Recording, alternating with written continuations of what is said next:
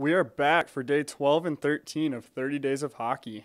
Day 12, Sunday's uh, giveaway, is a full set of stadium cups featuring all Joe Pavelski, Craig Smith, JT Brown,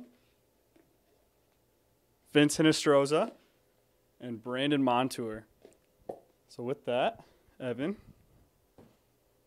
will you pick our winner?